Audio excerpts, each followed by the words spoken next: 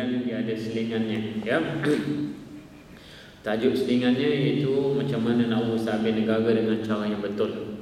Ya macam mana nak urus habis negara dengan cara yang betul. Ya macam mana kita nak urus habis negara dengan cara yang baik ya. Yang yang mana perkara tersebut menjadi oposit bagi ha, hancurnya sebuah negara ataupun perkara tersebut menjadi oposit kepada macam mana kita nak hancurkan sebuah negara. Ha, ya jadi tajuk khusus yang kita akan fokus itu perkara berkaitan dengan sejarah ha, umrah haji kemudian kita akan kaitkan ibadat korban lepas tu kita akan kaitkan perkara-perkara ha, yang ada di sekitar ya Kaabah ya.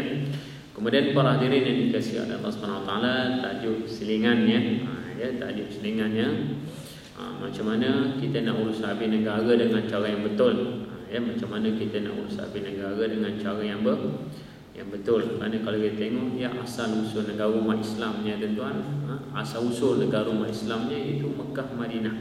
Ya asal usulnya ya negara umat Islamnya adalah Mekah Madinah Madinah ya. Bahkan kita tengok akhir zaman nanti pun ya akan terbangunnya sistem pengusaha negara cara Islam pun akan kembali kepada Mekah Madinah. Ya akan ha, kembalinya pengusaha negara dengan cara yang betul pun akan kembali ya ke Mekah dan Madinah Madinah satu hari nanti walaupun bukan sekarang tapi satu hari nanti akan kembali ke situ akan kembali ke tempat asalnya ha, ya jadi eloklah kita tahu apa perkara sedemikian ha, supaya kita nampak dengan jelas, ha, supaya kita nampak dengan jelas ya keadaan umat Islam, kedudukan umat Islam, negara umat Islam ya. Okey, para hadirin yang dikasihi Allah Subhanahu taala sebagai mukadimah majlis ya.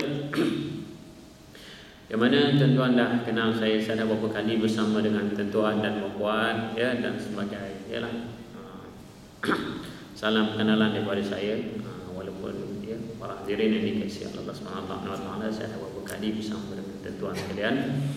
Jadi saya Ustaz Haji Zawari Ali ya saya asal Kelantan Campur Belah Utara dan Pendidikan. Saya pernah pelajar Kelantan South Africa Yaman dan New Gombak ya, kerjaya saya terlibat sebagai panel membuat khutbah berbahasa Inggeris Jabatan Kami Islam Melayu Persekutuan ya dan sebagai penceramah bertauliah Jais dan Jawi sebagai panel muzakarah haji pengat kebasan tamu haji sebagai penceramah umrah haji kepada beberapa company ha, umrah haji dan memberikan perunding kepada mereka ha, ya, dan selalu bawa pergi umrah dan haji ha, jadi insyaAllah saya akan cerita sedikit macam mana cara betul tentang nak pergi umrah dan haji kalau ada masa insyaAllah ya. Okey para hadirin yang dikasihi oleh Allah SWT apa khabar semua sihat ya Masya Allah, tabarakallah ya. Ha, suara ni dah buat orang terbuka ke belum? Tak ada. Ha, tak ada jemput saya apa sebab tak buat nak jemput Allah. Betul tak? Ha, yang tak buat nak jemput Allah. Orang jamaah. Ya. gitu. Okey, para hadirin yang dikasihi oleh Allah Subhanahu taala. Ha, jadi actually sebagai mukadimah majlis ya, kita berada dalam majlis ilmu ya, kita berada dalam majlis ilmu. Jadi tujuan saya kenalkan diri saya tadi tuan-tuan supaya kita boleh berkenalan dengan cara yang betul ya. Supaya kita ber, boleh bersilaturahim dengan cara yang betul ya. Dan adab ataupun kaedah bersilaturahim dengan cara yang betul ni kita kena kenalkan diri kita kepada orang kita jumpa. Baru kita akan dapat kelebihan panjang umur dan murah rezeki. Ha, itu tujuan saya kenalkan nama saya kepada tuan-tuan.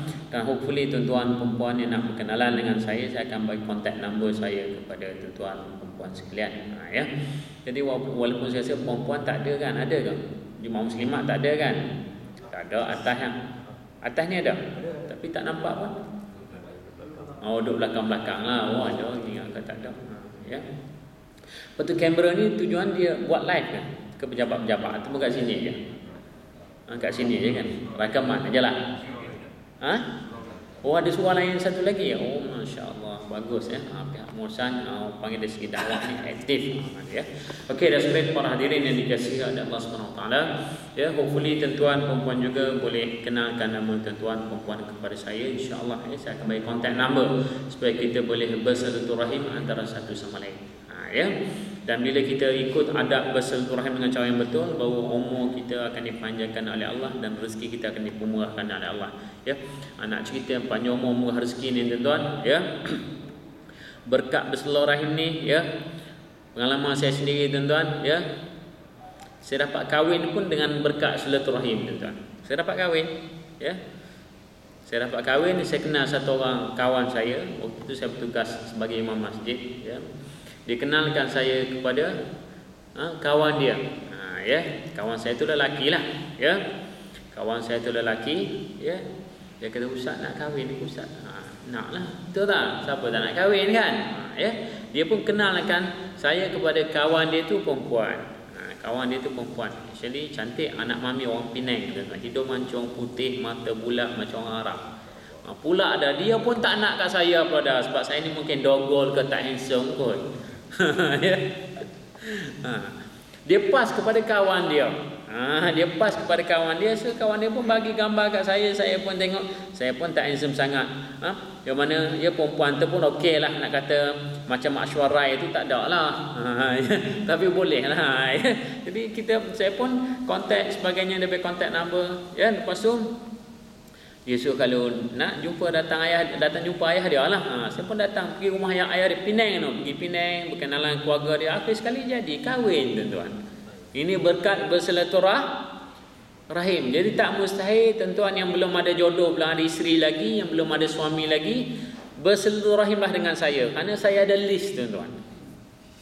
Ha, ya dalam ha, saya ada list dalam simpanan saya. Ya siapa nak cari jodoh dia kontak saya. Ha, sama ada pihak lelaki pun saya ada, pihak perempuan muslimat pun saya ada. Ha, ya ini berkat bersilaturah rahim ya. Antara yang ada dalam list saya umur 36 tahun, PhD dalam bidang kewangan Islam. Yang tu doa sepupu orang rumah saya. Ha, ini anak mami lah. Siapa nak test anak mami boleh? Eh? Ha, Buka je marah. Ha, ya. Yang tu umur 36 tahun. Ha, lecturer USM. PhD dalam bidang kewangan Islam. Lepas tu adik orang rumah saya sendiri. Yang tu umur 31 tahun. Juga PhD dalam bidang IT. United Kingdom. Juga pensyarah di USM Penang. Ha, ya, kalau nak cari yang jenis educated lah. Ha, ya. Ataupun tu nak cari yang ya degree pun ada. Ha, yang degree yang saya cakap anak mami umur 36 masanya saya nak kat dia dia tak mau kat saya kerana saya ni dogo tak handsome kot. Ha, ya. Yang tu umur 36 uh, degree dalam bidang ya tourism UUM Musim Melayu. Yang tu kerja dengan sekarang ni kerja dengan anak syarikat Cape dari SP. Ha, cantik. Kalau nak jenis yang cantik ah ha, yang tu. Ha, ya. Kemudian ada umur 28 tahun yang tu kerja dengan Fikra Berhad, bangsa maju. Orang ceras perdana yang tu umur 28 tahun. Ha, ya. Kemudian ada yang umur 40 tahun. Yang umur 40 tahun kerja dengan Bursa Saham Malaysia. Yang tu berat badan dia berat sikit. Ha, ya. Berat dia 98 kg. Ha, siapa yang nak yang badan besar? Ya, ada orang minat pada badan besar betul tak? Yes. Yang tu 98 kg. Ha, ya. Serius betul bukan kelentung tuan-tuan kerana bila kata ha dia orang ni nak suruh saya carikan jodoh saya minta bayar rata dia orang. Ha, so dia bagi bayar rata berat berapa kg tinggi berapa ha? ya macam mana kerjaya dan sebagainya. Ha ya lepas tu saya akan wal-walkan di Masjid Suwa tempat saya ceramah. Saya ceramah banyak tuan-tuan bukan bukan sini aja kata riti. Ha, jadi di situlah kita akan matchkan mereka. Ya dan pasangan-pasangan yang saya cari ni kebanyakan orang baik. Kerana saya jumpa mereka di Masjid Surau. Bermana Masjid Surau ni orang baik ialah orang semayang tuan-tuan. Ha, ya? Lepas tu keedah saya match mereka pula bukan keedah ha? ikut nafsu semata-mata tak ada tu. Saya bagi tahu pada pasangan lelaki siapa nak kahwin ya saya akan bagi tahu nama dulu. Lepas bagi tahu nama tu ya semayang hajat 12 rakaat. Minta dengan Allah dulu Ya, buat semayang hajat 12 rakaat, buat hari Khamis malam Jumaat, buat 3 malam, 3 minggu. Ya, 3 minggu kalau betul turut pun tak apa, tak betul turut pun, pun tak apa. Lepas tu akan nampak petunjuk sama ada sesuai ataupun tak sesuai. Sama juga pasangan perempuan. Itu keadaannya. Kerana bila kita kahwin dengan cara macam tu, maka perkahwinan kita ber berkat kekal lama. Ha, ya. Hari ini kita tengok punca ramai oh golongan muda kahwin tak sampai 5 6 tahun bercerai, kahwin tak sampai 2 3 tahun bercerai tuan-tuan. Tadilah kenapa? Kerana perkahwinan mereka tak ada keberkatan. Puncanya kebanyakan mereka sebelum mereka kahwin tu mereka dah bercinta dah, dah peluk sana sini, pegang sana sini. Itu tak ada keber keberkatan. Sebab tu statistik yang tinggi sangat golongan Islam kita kahwin cerai 5 6 tahun 3 4 tahun bercerai tuan-tuan. Kenapa? Kerana dalam perkahwinan tiada ada bar berkah. Ha, ya, jadi siapa-siapa nak kahwin sama ada muslim muslimat boleh kontak saya. Ha, ya. Ha, tapi nak buat nombor nak buat nombor dua tak boleh lah. Ha, tapi ada seorang tak nak buat nombor dua boleh. Janda umur 51 tahun. Yang tu boleh saya rasa nombor dua. Saya boleh counting dengan dia. Ha, ya, boleh bincang dengan dia. Ha, ya, tapi 51 lah. Ha, ya. Jadi para hadirin yang dikasihi Allah SWT kaedah macam tu. Saya meshkan antara mereka-mereka yang ada dalam list saya untuk carikan jodoh bantu tolong mereka. Dia tak ada apa-apa payment pun yang usik. ya. Okey para hadirin yang dikasihi Allah SWT siapa berminat boleh kontak saya saya bagi hamba kontak nombor. Ha, ya. Jadi para hadirin yang dikasihi Allah SWT jadi ha, luas rezeki ya, panjang umur. Caranya kita kena hubungkan tali silaturahim rahim. Kemudian satu lagi kita tengok dalam bab nak panjang umur murah rezeki ni tuan-tuan, Nabi ajar kita suruh kita doa. Yang mana cuma dalam konteks tu Nabi ajar doa suruh kita minta ilmu bermanfaat dulu, baru Nabi ajar kita suruh minta ya hati yang taat kepada Allah dan rezeki yang luas serta baik. Yang mana kita boleh tengok ya doanya Allahumma inni as'aluka ilman nafi'an wa rizqan wasi'an wa shifaan min kulli da' ya itu doa ketika minum air Zam-Zam. Maksud doa, Wahai Allah kurniakanlah kepadaku ilmu yang bermanfaat, ya hati yang khusyuk taat kepada rezeki yang halal, berkat serta baik. Itu doa khusus baginda Nabi sallallahu alaihi wasallam ketika minum air Zam-Zam ya. Dan satu doa lagi, doa umum baginda Nabi wasallam, itu Nabi baca doa, mohon ilmu bermanfaat, hati yang khusyuk taat kepada Allah, rezeki yang berkat halal serta baik ya. Itu Allahumma inni as'alika ilman nafi'an wa qalban khashi'an wa rizqan tayyiban wa halalan wa wasi'an bi rahmatika ya arhamar rahimin. Itu doa baginda Nabi SAW. Wahai Allah, kurniakanlah kepadaku ilmu yang bermanfaat. Ya hati yang khusyuk taat kepadamu dan rezeki yang halal baik serta berkah. Ha, jadi para hadirin yang dikasihi Allah Subhanahu Wa Taala, mudah-mudahan kita bersama pada tengah ini dikurniakan ke atas kita ya ilmu bermanfaat yang mana ilmu bermanfaat ini adalah hidayah petunjuk dari para Allah. Ya, ilmu bermanfaat adalah hidayah petunjuk dari para Allah. Hati yang khusyuk taat kepada Allah itu kekuatan untuk kita taat kepada Allah ini dipanggil taufik. Ya. Kemudian rezeki yang halal berkat dan luas jadi kita nak hidup megana dalam kehidupan dunia supaya selamat dunia akhirat ni kita kena ada rezeki yang berkat halal dan luas. Ha, salah satu rezeki tuan-tuan mudah dapat jo jodoh. Jadi yang belum berkahwin lagi ni boleh kontak saya sama muslimat atau muslimat. Jadi tuan-tuan mari kita sama-sama baca doa ikut saya. Mohon ilmu bermanfaat hati yang taat kepada Allah rezeki yang berkat halal serta luas insya-Allah. Bismillahirrahmanirrahim. Allahumma inni أسألك علما نافعا وقلبا خاشعا ورزقا طيبا وحلالا وواسعا برحمتك يا أرحم الراحمين. والحمد لله رب العالمين. Jadi memudahan berkat kita baca doa tadi dikurniakan ke atas. Kita ilmu yang bermanfaat ya. Hidayah petunjuk dari para Allah ha? hati yang taat patuh kepada Allah kemudian rezeki yang berkat halal serta luas. Ha? jadi tak mustahil yang dah kahwin satu lagi boleh jadi kahwin dua tiga atau empat. Betul tak? Yalah rezeki yang luas betul tak? Ha, berdua jangan marah ya. Ha, takut jemaah muslimat marah atas sana. Okey para hadirin yang dikasihi oleh Allah Subhanahu wa taala ha, ya Seterusnya, para hadirin yang dikasihi Allah SWT, sebelum kita pergi dengan detail berkaitan dengan perbincangan kita pada tengah hari ini tentang perempuan, jadi sebagai mukadimah majlis, kita berada dalam majlis ilmu. Ya? Jadi besar manfaat kita berada dalam majlis ilmu ni tuan-tuan. Bahkan pentingnya kita menuntut ilmu. ya. Allah Ta'ala ada bagi tahu dalam surah Al-Alaq. Ini awal-awal wahyu yang mana Allah Ta'ala turunkan kepada baginda Nabi SAW. Itu firman Allah Subhanahu Wa Ta'ala. A'udzubillah minasyaitanir rajim. Iqra' bismi rabbikal ladhi khalaqa. Khalaqal insana min alaqa. Al-ayat ayat 1 yang ayat 5. Ini adalah awal-awal wahyu yang mana Allah Taala turunkan ke atas baginda Nabi sallallahu alaihi wasallam. Turun pada tahun ke-610 eh, Masehi tahun 610 Masehi. Kemudian pada 17 Ramadan ataupun 22 Julai itulah wahyu yang pertama yang Allah Taala turunkan ke atas baginda Nabi sallallahu alaihi wasallam. Ya? Jadi arahan kepada baginda Nabi sallallahu alaihi wasallam supaya menuntut ilmu. Pentingnya kita menuntut ilmu dalam surah lain pula surah Zumar ayat 6 Allah bagi tahu la yasawil ladzina ya'lamuna wal ladzina la ya'lamun.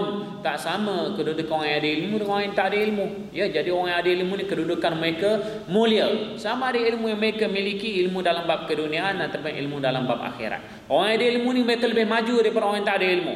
Ya tak kira sama ada ilmu yang mereka miliki ilmu keduniaan ataupun ilmu akhirat. Kita ambil contoh paling mudah dalam bidang keduniaan. Orang barat lebih maju daripada kita dalam bidang sains, kejuruteraan, teknologi. Ya. Kenapa tuan-tuan? Kerana di kalangan mereka ramai orang dalam dan luas pengetahuannya dalam bab-bab tersebut. Ya. Sebab tu mereka maju dalam bab keduniaan.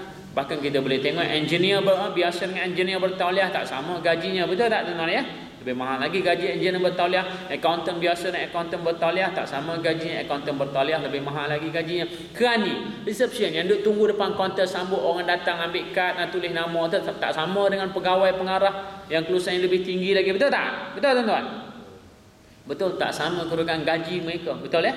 Ha, jadi dalam bab dunia pun bergantung kepada il ilmu. Ya, kita nak kebaikan dunia yang banyak, kita kena dalam dan luas dalam bab ilmu-ilmu keduniaan. Ya, kalau kita nak ha, kebaikan yang banyak dalam bab akhirat, kita kena dalam dan luas pengetahuannya tentang akhir akhirat. Ha, jadi memudahkan perantaran kita bersama pada tengah hari ini dikenakan ke atas kita ilmu yang bermanfaat, rezeki yang halal, berkat dan luas dan ha, kekuatan untuk taat perintah-perintah Allah Subhanahu Wa Taala insya-Allah. Okey, para hadirin yang dikasihi Allah Subhanahu Wa Taala, seterusnya eh, sebelum kita pergi dengan detail bab yang kita nak bincang pada tengah hari ini, Iaitu beberapa perkara asas yang boleh kita kena tahu, faham dan berpegang dengannya. Pertama iaitu Islam sebagai satu cara hidup lengkap, menyeluruh, sempurna dan diredai oleh Allah. Sebagaimana dipetik daripada surah Al-Ma'idah ayat yang ketiga. ya. Yang uniknya ayat ini adalah ayat yang terakhir yang turun daripada Al-Quran. Turun pada tahun ke-10 Hijrah pada 9 Zulhijjah. Turun pada hari ha, Jumaat. Ketika itu baginda Nabi SAW melakukan, sedang melakukan ibadat haji. That we call haji wadak, haji yang terakhir baginda Nabi SAW. Ya, ayatnya auzubillahi minasyaitonir rajim. Al-yawma akmaltu lakum dinakum wa atmamtu alaykum ni'mati wa raditu lakum al-islam madina. Surah Al-Maidah ayat yang ketiga yang menyatakan Islam sebagai satu cara hidup lengkap, menyeluruh, sempurna dan diredai oleh Allah. Ya. Justru itu semua perkara diajar oleh Islam sama ada perkara berkaitan dengan akidah, ideologi, perjuangan, ibadat-ibadat khusus sembahyang, puasa, zakat, haji, umrah, ibadat korban ya ibadat-ibadat secara umum urusan abis negara cara Islam melibatkan pengurusan ekonomi masyarakat sistem perundangan ya sistem ha, pergaulan perhubungan ha, mak bapak keluarga anak-anak jiran-jiran ya rakyat dengan para pemerintah semua diajar oleh Islam. Termasuk ha, politik siasah dan sebagainya. Semua diajar oleh is Islam. Kerana Islam sebagai satu cara hidup leng lengkap menyeluruh sempurna dan diredai oleh Allah Ya, ha, bahkan tuan-tuan kita tengok perkara-perkara yang mungkin kita pandang nanti enteng kecil ya.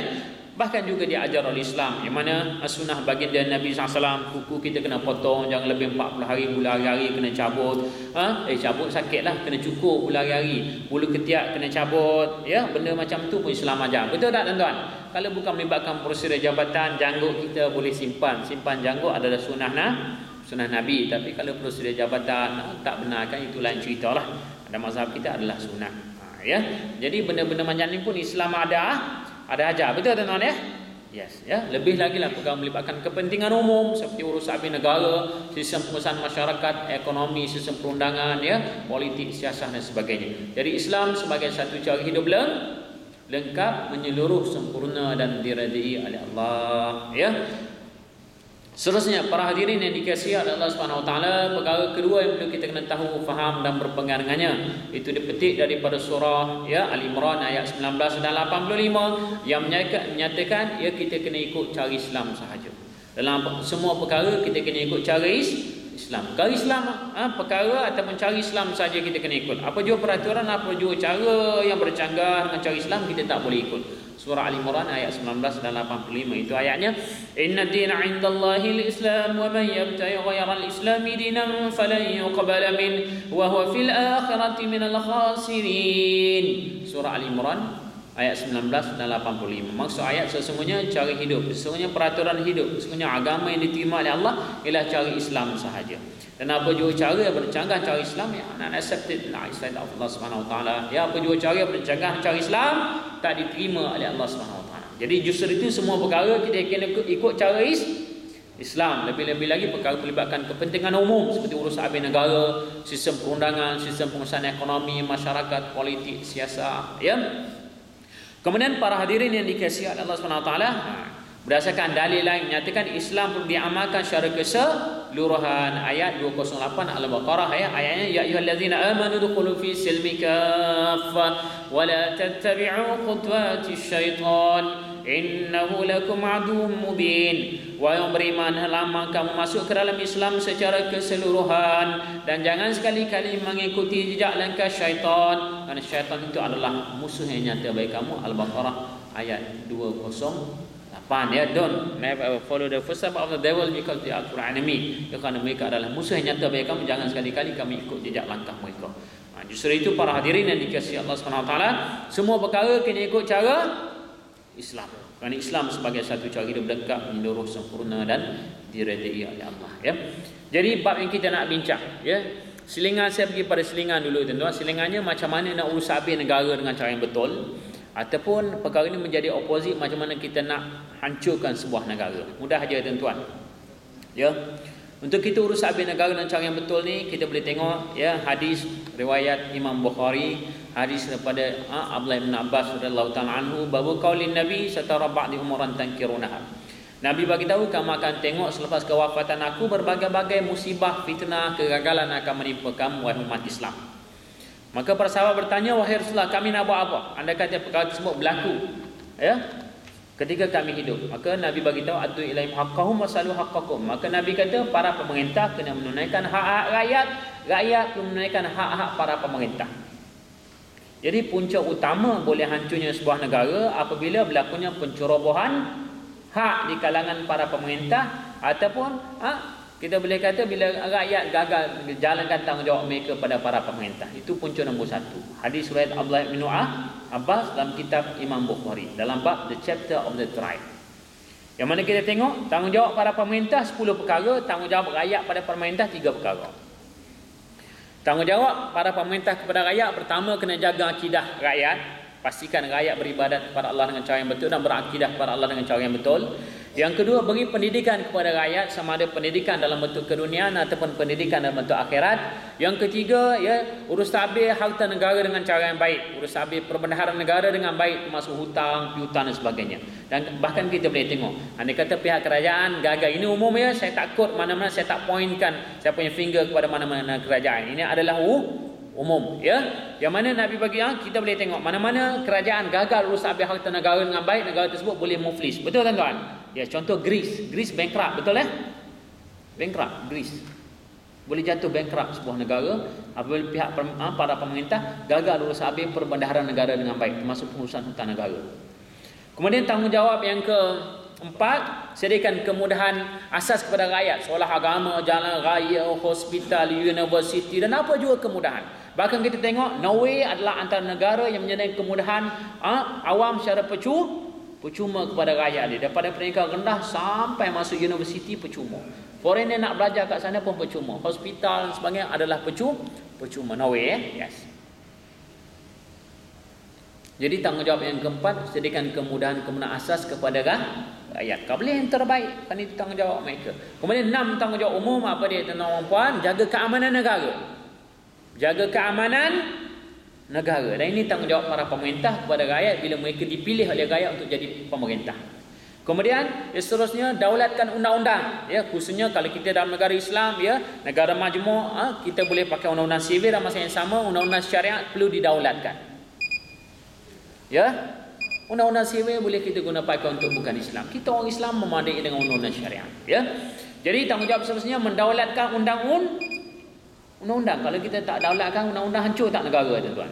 Hancur. Dan ini tanggungjawab para pemerintah melibatkan rakyat ya. Hak-hak rakyat mereka perlu tunaikan. Kemudian seterusnya.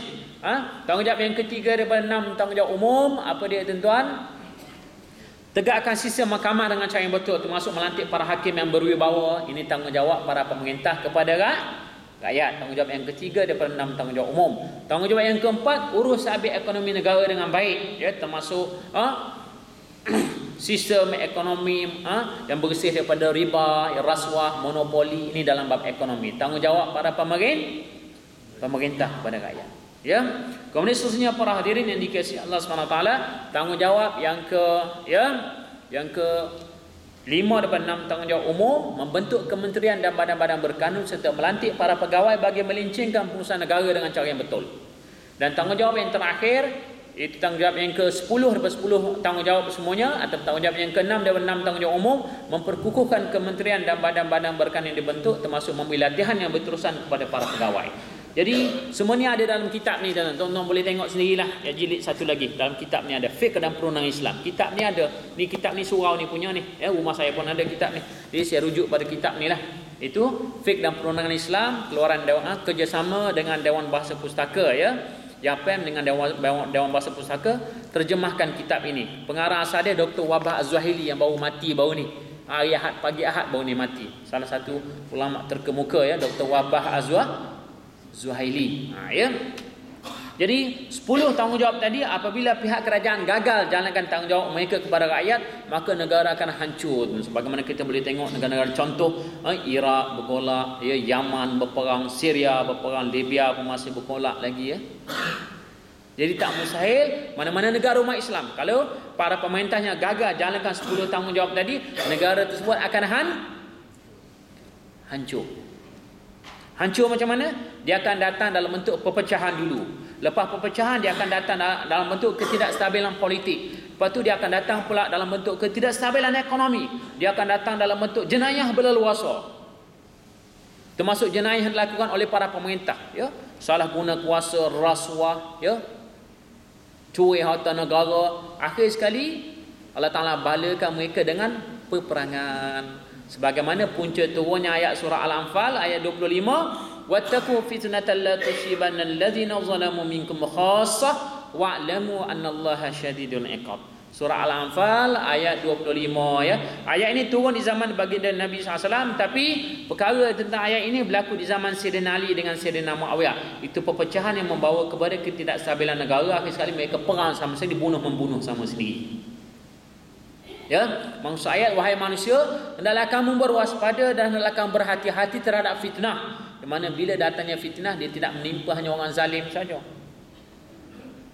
Ya, fitnah tidak menimpa orang yang jahat saja. Bahkan bila datang fitnah, orang baik pun akan kena juga. Contoh, bila berlakunya ketidakstabilan politik. Orang rakyat-rakyat yang baik pun akan kena efek dia. Betul tuan-tuan? Bila ekonomi jatuh tuan-tuan, rakyat-rakyat yang baik pun akan kena kesan dia. Betul? Jadi maksud fitnah di sini perpecahan yang membawa kepada ketidakstabilan negara. Perpecahan yang membawa kepada ketidakstabilan politik akhir sekali bertukar kepada huru-hara, akhir sekali bertukar pada perang sama sendiri tuan-tuan. Tak terhenti berlaku di zaman Sayyidina Ali sahaja. Sayyidina Ali sebagai khalifah waktu itu berperang dengan chief minister dia Sayyidina Muawiyah. Lepas tu berlaku zaman Yazid pula. Yazid sebagai khalifah. Bila berlaku penyelewengan secara berleluasa, Abdullah bin Zubair, cucu Sayyidina Abu Bakar ketika itu sebagai chief minister di Mekah. Maka dia suruh ah, khalifah letak jawatan. Suruh khalifah letak jawatan. Kan mau khalifah letak jawatan, betul tak? Dengan dengan jawatan tu dia jadi kaya raya, hidup mewah seronok. Tak mau dia, betul tak? Maka akhir sekali Abdullah bin Zubair pun istihar pemberontakan. Maka dia pun usaha untuk tangkap bin Zubair berlakulah peperangan secara besar-besaran. Akhir sekali Yazid mati. Punca mati dia arahkan tentera serang Kaabah. Kerana waktu itu last sekali Abdullah bin Zubair berkubur dalam Masjidil Haram dalam Kaabah. Maka dia hantar bola api masuk dalam Kaabah kena Kaabah. Bola api tadi kena Kaabah kerana dia serang Masjidil Haram terbakar Kaabah. Lalu jatuh sakit Yazid selama tiga hari demam mati. Bila mati berakhirlah kepungan ke atas Abdullah bin Zubair, maka lepas itu orang ramai bai'ah pula, sokong pula Abdullah bin Zubair sebagai khalifah khalifah seterusnya ya ha, jadi para hadirin yang dikasihi Allah Subhanahu jadi punca pertama boleh hancurnya negara fitnah yang boleh membawa kepada hancurnya sebuah negara ataupun terbantuknya kemajuan kemakmuran sebuah negara apabila berlakunya pencerobohan hak apabila kerajaan gagal tunaikan hak mereka kepada rakyat. Kemudian rakyat pula ada tiga hak kepada para pemerintah. Pertama wajib taat kepada para pemerintah selama, selama mana para pemerintah tadi tidak menyuruh ke arah maksiat. Wajib kena taat kepada para pemerintah. Kalau mereka tidak taat kepada pemerintah dalam keadaan begini hukumnya adalah dosa besar ya wajib taat kepada para pemerintah selama mana para pemerintah tadi tidak menyuruh kepada maksiat maksiat ataupun wajib taat pada para pemerintah dan wajib ha, menyokong mereka selama mana ya yang pertama taat, yang kedua sokong dan membantu. Jadi tiga tanggungjawab ataupun hak rakyat kepada para pemerintah. Pertama taat, yang kedua wajib sokong dan membantu para pemerintah selama mana perangai ataupun sikap para pemerintah tak berubah. Ini hak para pemerintah, mana rakyat perlu tunaikan. Sikap perangai mereka tak tak berubah, huraiannya ada dua. Pertama, perubahan sikap para pemerintah dari segi ha, perubahan yang berlaku ke atas para pemerintah pertama dari segi fizikal. Contoh, dia kudung kaki ke mula-mula dia para pemerintah, Perdana Menteri, Menteri ataupun Presiden. Tiba-tiba dah kudung kaki kedua-duanya. Puncak accident, jatuh atas flight, eh, helikopter sebagai kudung kaki. Maka, maka waktu itu berlaku perubahan kepada para pemerintah. Kudung dua kaki. Jadi kudung dua kaki ni ijma' tak layak lagi dia jadi para pemerintah. Maka waktu itu rakyat boleh cari orang lain untuk jadi pemerintah. Pemerintah boleh pilih orang lain ataupun dia sakit. Contoh kita ambil Sultan Kelantan bila tuanku Ismail sakit bang anak dia naik betul tak ya kerana waktu itu dia tak boleh tak layak lagi jadi para pemerintah kerana sakit tak boleh bangun ya waktu ini bermakna rakyat kena cari orang lain untuk menjadi pengganti ha, ya kemudian perubahan dari segi ya sikap perubahan dari segi sikap sebelum ni dia pemerintah yang baik Sebelum ni dia pemerintah yang adil, tiba-tiba bila dah ramai sokong dia, dia pun dah menyeleweng, ha? curi harta negara, rasuah sini, gagal urus habis negara daripada adil jadi zalim dan jahat. Ya? Maka waktu itu berlaku perubahan dari segi si, sikap, perangai dah dah berubah. Maka waktu itu tidak ha? wajib lagi rakyat menyokong mereka. Jadi hak para pemerintah ada berapa? Tiga. Ke atas rakyat. Kena tak taat sokong mereka dan membantu mereka. Tapi ada syarat dia selama mana para pemerintah tadi tidak menyuruh ke arah kebaikan selama mana sikap para pemerintah tadi tidak berubah. Ulama fiqh buat kajian dengan dalam bab ha, urus abis negara nak jadi para pemerintah ni nak memastikan negara diurus abis dengan baik bahkan mereka buat kajian sampai ha, anda kata para pemerintah tu tak ada telur telur tak ada telur layak tak mereka jadi para pemerintah jadi ijma' kata kalau seorang para pemerintah tercabut telurnya tak ada telur. Contoh accident naik eh, flight helikopter, jatuh helikopter tercocok besi helikopter dekat telur dia, kena potong telur. Tak ada telur dua biji. Maka ijma' kata orang ni tak boleh lagi jadi pemerintah. Pemerintah ijma' kata tak layak. Tapi ha, pandangan bukan ijma' kata masih boleh lagi tapi dengan syarat dia tak jadi bengong, temenung, tak tentu hala hingga menjejaskan kerja dia. Kalau bila tak ada telur ni masuk ofis tu termenung. Ha, jadi kalau tahap macam ni confirm tak layak jadi pemerintah. Pemerintah tengok sampai detail macam tu lama fiqh buat kajian tentang kita nak ha, angkat seorang jadi para pemerintah layak tak seorang jadi para pemerintah. Kerana ha, pemerintah ni kesan dia besar kepada negara dan rakyat tuan-tuan. Ya, negara boleh hancur, rakyat boleh berperang sama sendiri dengan sebab punca para pemerintah. Ya, jadi punca pertama negara boleh hancur apabila berlakunya pencerobohan hak apabila para pemerintah gagal tunaikan hak mereka kepada rakyat, rakyat pun tak tunaikan hak mereka kepada para pemerintah, maka berlalu salah fitnah. Punca kedua, boleh hancurnya sebuah negara apabila para pemerintah yang dilantik, para pemerintah yang tak cerdik, ya. Hadis riwayat ha? Abu Hurairah babu qaulin Nabi halaka ummati ala yada ulamatin sufaha, ya. Nabi kata hancur lebu negara, hancur lebu umat aku apabila para pemimpin yang memimpin mereka para pemimpin safih. Safih bahasa Arab ni kita panggil kalau bahasa kasar sikitlah kita boleh panggil dia ni tolol. Kita boleh panggil dia ni tak cerdik lah bahlul dan ha, bangang. Bangang ni keliru. Kalau bahasa Kelantan muni bengong. Maksud bengong muni keliru. Keliru, bingung, bingung, bingung. Bangang, bingung, keliru. Jadi Nabi bagi tahu halaka ummati ala yadi ulamatin sufaha. Hancur lebu umat aku, binasa umat aku apabila para pemimpin yang memimpin mereka para pemimpin safih. Safih ni tolol, bebal dan dia keliru.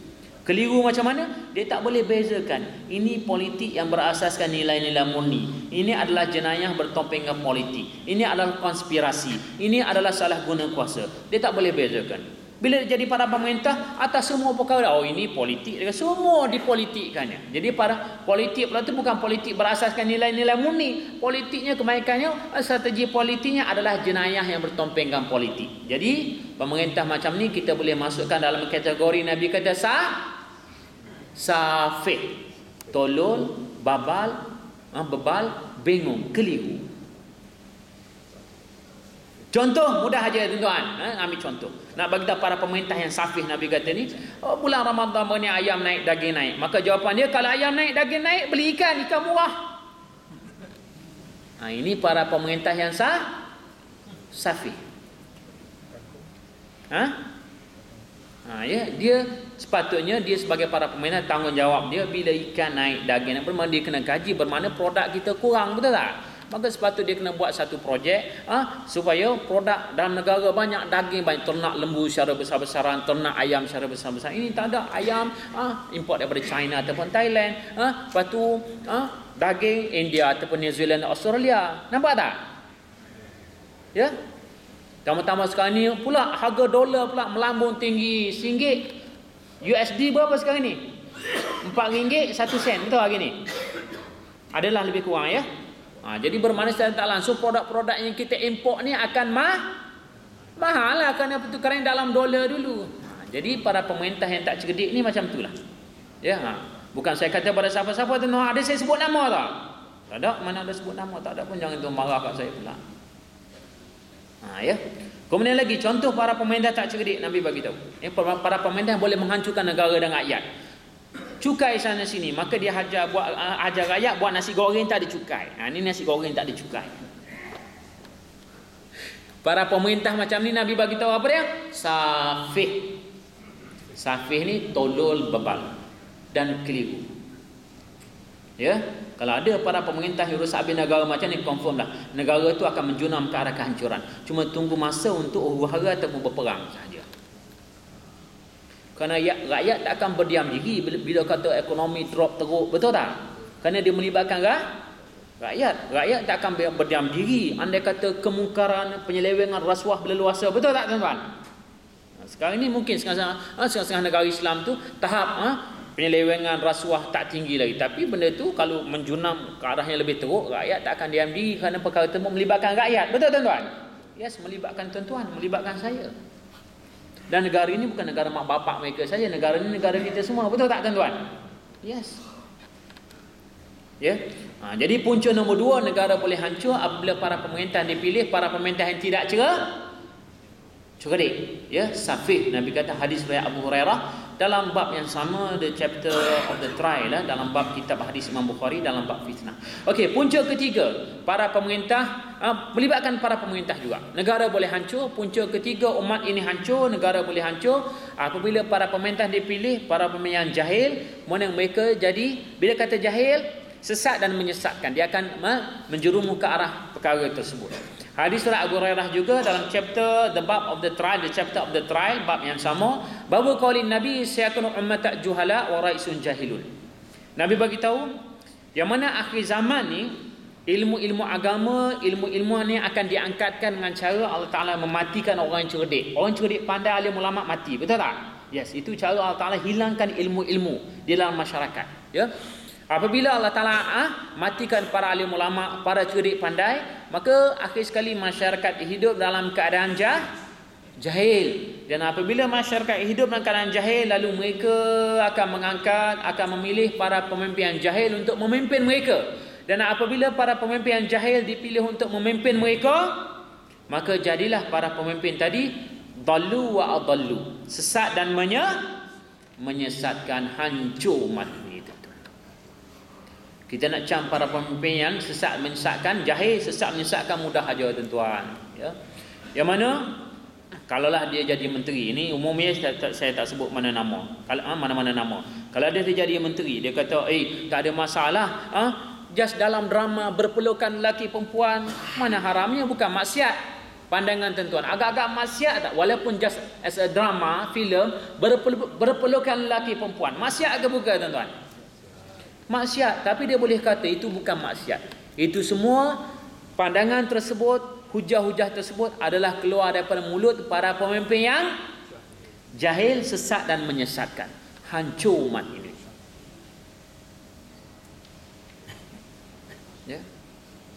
Patut contoh kita tengok contoh lagi. Tuan-tuan dan puan para pemimpin yang sesat dan menyesatkan. Ha, ya.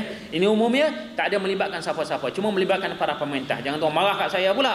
Ha, ya Contoh paling mudah lagi kita boleh ambil contoh. Harga minyak naik. Dan ini tak melibatkan Petronas kerana harga minyak naik, minyak turun tak melibatkan eh, tuan-tuan kerana tuan bukan policy maker pun. Yang melibatkan harga naik minyak ni policy maker, betul tak? Menteri-menteri lah, betul tak? Ya, bukan tuan-tuan pun. Ya, jangan tuan marah kat saya pula. Harga minyak naik, maka dia kata kita kena menaikkan harga minyak untuk kesejahteraan rakyat.